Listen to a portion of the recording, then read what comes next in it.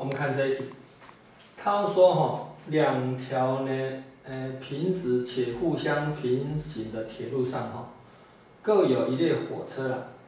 甲火车的话哈，长两百公尺，以等速四十公尺每秒前进。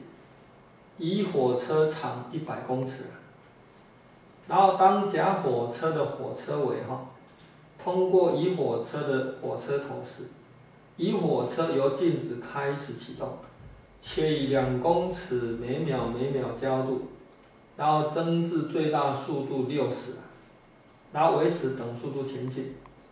总共哈，经过几秒后哈，乙火车的火车尾哈，会超过甲火车的火车头。啊，这怎么做哈？这我们就给他画那个 VT 图了，画在 VT 图。好，VT 图的话哈，甲的话哈，它是等速运动的，我始终保持在四十，四十。这是呃 V 一，然后这个乙的话哈，它一开始的加速度，加速度是那个二，所以它斜率是二，然后加速到六十的时候，就以等速移动了。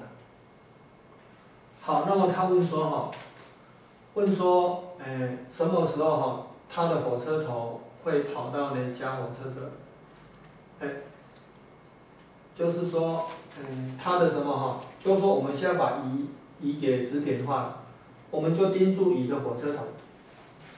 乙的火车头的话哈，要跑到这里来了，也就是说哈，乙的火车头要超越哈甲的呢，就是甲火车哈三百公尺嘛。因为什么？因为他说，乙的火车尾要通过呢甲的火车头，所以从这里到这里的话是经过多少？两百加一百，三百。也就是说，乙火车啊哈。我们假设呢，到达 t 时间的时候，乙火车哈，要超越呢甲火车多少呢？三百公尺，哦，要超过它三百公尺，就要追追它追三百公尺。那就是说，这个梯形面积哈，减掉呢长方形面积，要等于多少？等于三百。好，阿，因为这个斜率是等于二嘛，所以这个比这个是二比一啊。那这六十嘛，所以这应该是三十，哦，这三十秒，那这样这个多少？这就是 t 减掉三十，t 减三十。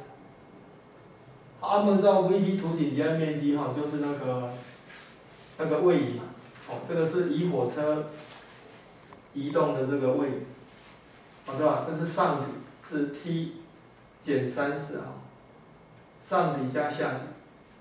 啊，乘以高除以二，乘以高六十，啊除以二，哦，这个是，呃，乙的位移，啊减掉多少呢？甲的位移，甲的位移是这个长方形，四十 t 哈，这要等于三百啊，哦，这个三百就是两百加一百，好，啊这可以约分嘛？这是二 t 减掉那个，嗯，三十，约分的话就变成变成是 t。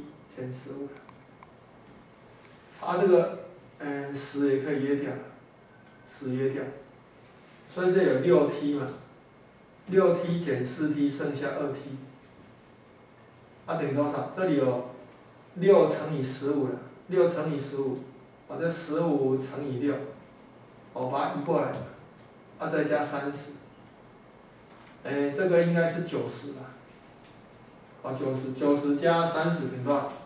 等于一百二十，所以 t 应该是六十，所以得到哈 t 的话应该是六十，六十秒，所以这题答案应该选 D。